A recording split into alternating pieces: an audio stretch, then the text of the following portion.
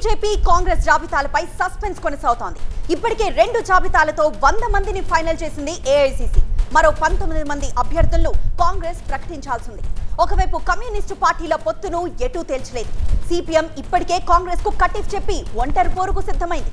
కానీ సిపిఐ మాత్రం ఇప్పటికీ వేచి చూసే ధోరణిలోనే ఉంది. రాష్ట్ర నాయకులు కేంద్ర కమిటీకి నిర్ణయాన్ని వదిలేశారు. కాంగ్రెస్ మూడో జాబితా కోసం ఆశావాహులు ఎదురు చూస్తున్నారు ఏ క్షణమైనా మూడో జాబితా వచ్చే అవకాశం ఉందంటున్నాయి పార్టీ వర్గాలు. ఇక మూడు విడతల్లో ఎనభై ఎనిమిది మంది అభ్యర్థులను ప్రకటించిన బీజేపీ మరో ముప్పై ఒక్క మందిని ఫైనల్ చేయాల్సి ఉంది మరోవైపు పొత్తుపై జనసేనతో ఇప్పటికే చర్చలు జరిపిన బీజేపీ సీట్ల సర్దుబాటు కాగానే మిగతా అభ్యర్థుల్ని ప్రకటించనుంది.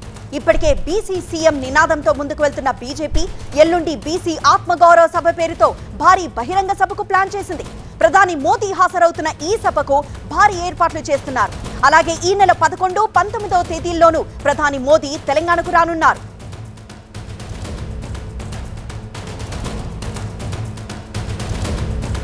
ఫైనల్ లిస్ట్ పై పూర్తి సమాచారం మా అసోసియేట్ ఎడిటర్ మహాత్మా లై ద్వారా అందిస్తారు. మహాత్మా ఫైనల్ లిస్ట్ ఇటు కాంగ్రెస్ బీజేపీకి సంబంధించి ఫైనల్ లిస్ట్ ఏ సమయానికి బయటకు వచ్చే అవకాశం కనిపిస్తోంది?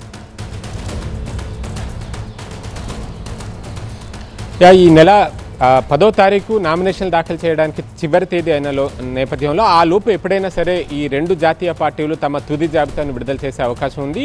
ఆచితూచి ఉద్దేశపూర్వకంగానే జాప్యం చేస్తున్నట్లుగా మనకు అర్థమవుతోంది. ఎందుకంటే ఇందులో కాంగ్రెస్ పార్టీకి ముఖ్యంగా రెబల్స్ బెడద ఎక్కువగా ఉంది. ఎవరికైతే టికెట్ ఆశించి భంగపడుతున్నారో అటువంటి వాళ్ళు పార్టీని వీడి ఇంకో పార్టీలో చేరి పోటీ చేస్తున్న పరిస్థితి ఉంది.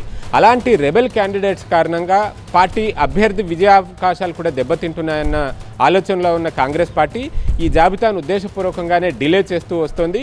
చివరి నిమిషంలో చివరి సమయంలో ఈ జాబితాను విడుదల చేస్తే గనక ఆ రెబెల్ క్యాండిడేట్స్ సైతం ఇంకో పార్టీలో చేరడానికో లేకపోతే ఇండిపెండెంట్గా పోటీ చేసి దెబ్బతీయడానికో ఆస్కారం చాలా తక్కువగా ఉంటుందన్న ఉద్దేశంతో ఈ తరహా ఒక స్ట్రాటజిక్ డిలే అన్నది ఒకటి చేస్తోంది.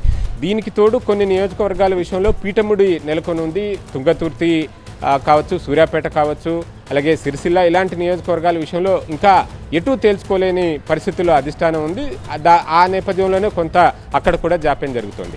కాంగ్రెస్ మొత్తంగా ఇంకా పంతొమ్మిది నియోజకవర్గాలకు అభ్యర్థులను ప్రకటించాల్సి ఉంది. అందులో ఒకవేళ సిపిఐ తోటి పొత్తు తేలితే గనక ఆ కొత్తగూడెం స్థానాన్ని మినహాయించి మిగతా పద్దెనిమిది నియోజకవర్గాలకు ఒకటి రెండు రోజుల్లో జాబితాను ప్రకటించే అవకాశం ఉన్నట్టు తెలుస్తోంది. ఇకపోతే భారతీయ జనతా పార్టీ కాంగ్రెస్ ప్రకటన తర్వాత తాము కసరత్తు చేపట్టాలన్న ఆలోచనలో ఆ పార్టీ ఉన్నట్టుగా తెలుస్తోంది. ఇంకా ముప్పై ఒక్క స్థానాలకు అభ్యర్థులను ప్రకటించాలి.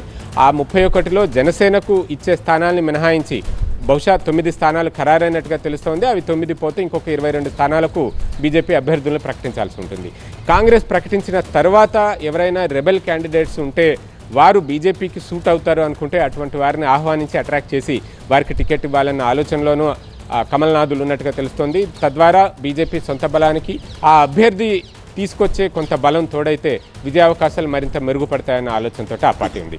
ఈ రకంగా ఈ రెండు పార్టీలు కూడా ఉద్దేశపూర్వకంగానే కొంత డిలే చేస్తున్న వాతావరణం ఉంది. బట్ ఏదేమైనా ఈ శుక్రవారం లోగా జాబితాను ఖచ్చితంగా విడుదల చేయక తప్పని పరిస్థితి. ఎందుకంటే నామినేషన్లు దాఖలు చేయడానికి చివరి తేదీ ఫ్రైడేనే కాబట్టి బహుశా రేపు ఎల్లుండులోగా కాంగ్రెస్కి సంబంధించిన జాబితా రావచ్చని ఆ తర్వాత. బీజేపీ జాబితా కూడా విడుదలయ్యే అవకాశం ఉందని చెప్పి తెలుస్తోంది.